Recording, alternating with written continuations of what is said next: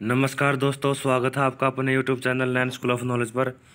दोस्तों SSC staff selection commission ने एक नोटिस जारी किया गया है। इसमें जो स्टेनोग्राफर ग्रेड सी और डी की एग्जामिनेशन 2020 का ये नोटिस जारी किया गया है। इसमें जो date for submission online application है, वो दस दस दो हज़ार बीस से लेकर चार ग्यारह दो हज़ार बीस तक है। जो लास्ट डेट है रिसिप्ट की एप्लीकेशन फॉर्म की, वो चार ग्यारह दो हज़ार बीस है। ऑनलाइन फ़ी पेमेंट की छः ग्यारह दो हज़ार बीस। और जो जनरेशन ऑफ़ ऑनलाइन चलान है, जो चलान के थ्रू भरना चाहते हैं, वो है आठ ग्यारह दो हज़ार बीस। है जो कंप्यूटर बेस्ड एग्ज़ाम है, इसके लिए वो उनतीस तीन दो हज़ार इक्कीस से लेकर इकतीस तीन दो हज़ार इक्कीस तक कंडक्ट किया जाएगा। वैकेंसीज है जो स्टेनोग्राफर ग्रेड सी और स्टेनोग्राफर ग्रेड सी की वो ऑल ओवर इंडिया होगी। और वेबसाइट पर टाइम टू टाइम आप चेक कर सकते हैं आ, इसकी वैकेंसी की अपडेट है वो शीघ्र ही जल्दी ही वेबसाइट पर अपलोड कर दी जाएगी।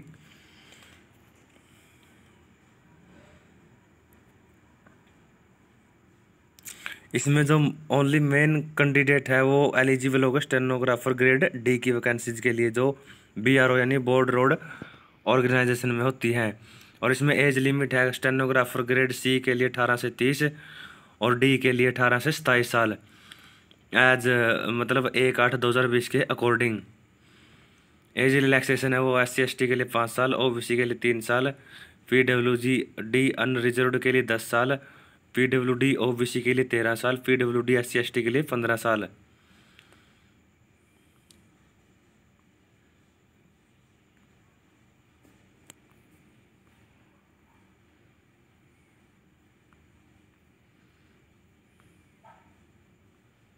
और जो एजुकेशन क्वालिफिकेशन है, जो कैंडिडेट है, उसके पास ट्वेल्थ होनी चाहिए। इसके इक्वेलेंट एग्जामिनेशन हो चाहिए फ्रॉम एनी रिकोगनाइज्ड बोर्ड या यूनिवर्सिटी से।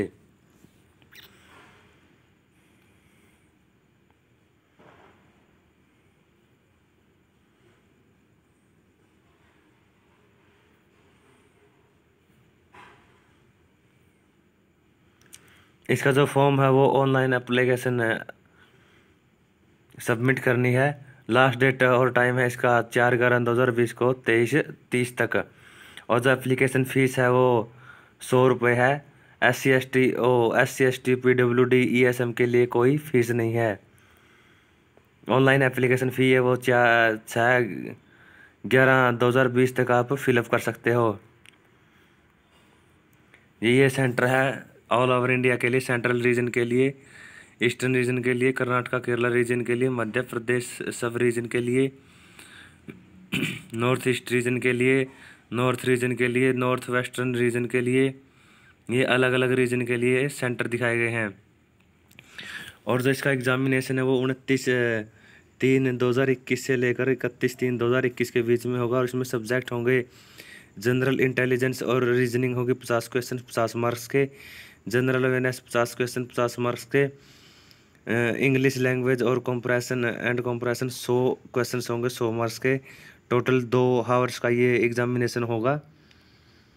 मल्टीपल चॉइस क्वेश्चन आएँगे ज़ीरो पॉइंट टू फाइव की जो नेगेटिव मार्किंग है इस क्वेश्चन के लिए। इंग्लिश और हिंदी लैंग्वेज में दोनों में मार्क्स आएँगे। ओ टेस्ट आएगा, ये है जो सिलेबस है कंप्यूटर बेस्ड एग्जामिनेशन के लिए जनरल इंटेलिजेंस रीजनिंग के लिए जनरल अवेयरनेस के लिए इंग्लिश लैंग्वेज के लिए, जो स्किल टेस्ट स्टेनोग्राफर के लिए, जो टाइम है वो स्टेनोग्राफर ग्रेड डी में इंग्लिश के लिए पचास मिनट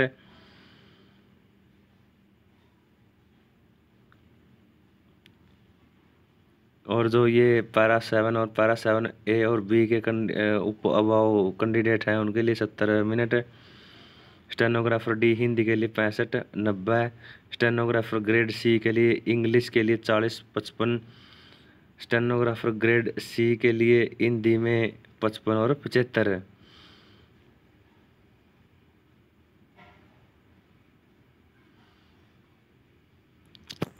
जो कैंडिडेट टेस्ट है, जो वो हिंदी में देगा, उसको इंग्लिश स्टेनोग्राफी भी सीखनी पड़ेगी।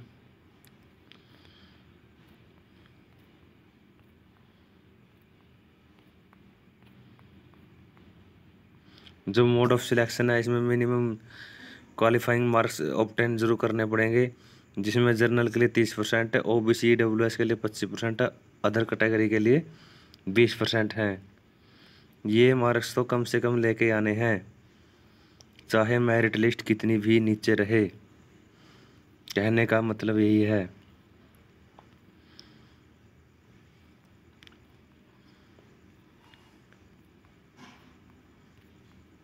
तो ये थी एक इन्फॉर्मेशन जो एसएससी के द्वारा नोटिस जारी किया गया था। उसके बारे में जो स्टेनोग्राफर ग्रेड सी और डी के बारे में वैकेंसीज है? अगर वीडियो अच्छी लगी तो चैनल को सब्सक्राइब करें, वीडियो को लाइक करें, धन्यवाद, जय हिंद।